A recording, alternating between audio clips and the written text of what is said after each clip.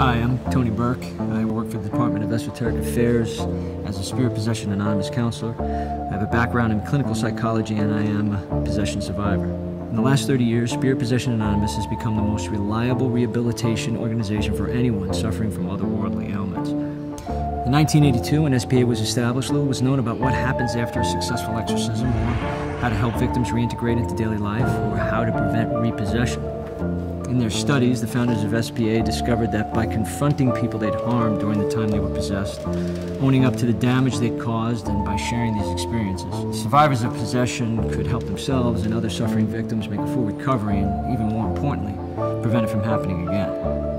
The program is influenced by leading and prominent psychiatrists and leading social scientists, such as Jacob L. Moreno and Kurt Lewin.